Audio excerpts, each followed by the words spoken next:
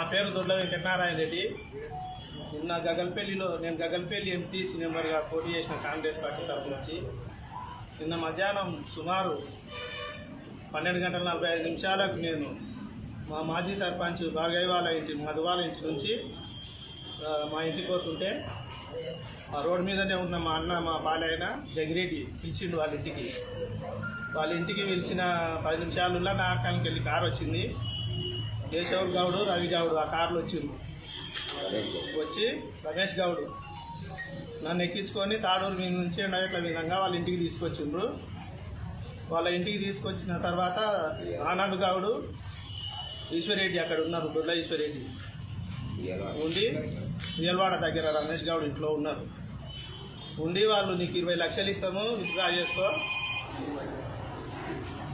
Withdraw చేసుకుంటే ఇరవై లక్షలు ఇస్తాము.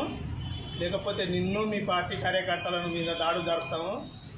మేము నేను చెప్పినట్లు విని పైసలు తీసుకొని నేను గెలిస్తే ఎంపీ అయితే నువ్వు గెలిచి చేసేది ఏముందని చెప్పి నాకు చెప్పి నాతోటి ఆఫీస్కు వాళ్ళ కార్లో నేను తీసుకుపోయి సంతకం పెట్టించి రిటర్న్ తీసుకొచ్చి ఈ డబ్బులు పది లక్షలు ఆయన సొంతంగా మా అత్తగారి ఇంటి దగ్గర ఉన్నది మా భార్య తీసుకుపోయి అక్కడ వాళ్ళ ఇంట్లో ఇవ్వడం జరిగింది.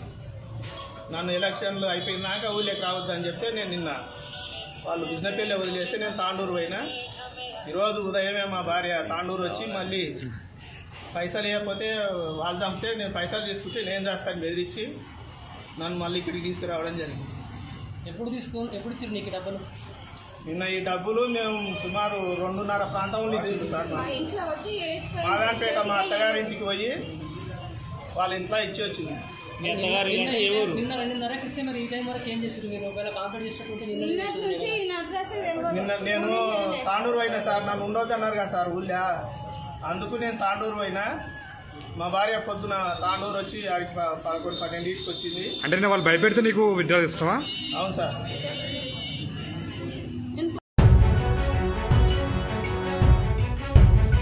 Please subscribe New Waves.